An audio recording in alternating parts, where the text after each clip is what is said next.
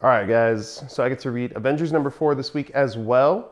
And this book has been definitely, definitely kicking a lot of major butt. Uh, Jonathan Hickman knows what he's doing. And this story centers around our new Atom Smasher and how she became who she is, her background history, uh, uh, kind of gives it's a cool little story of how she gets inducted into the Guardians.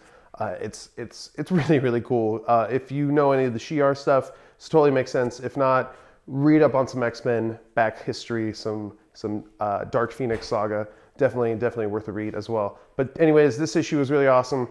Can't wait to see where Jonathan Hickman's taking the Avengers in next week's Captain Universe. So holy crap, can't wait for that to happen. So this book is getting five out of five nerd skulls. Check it out.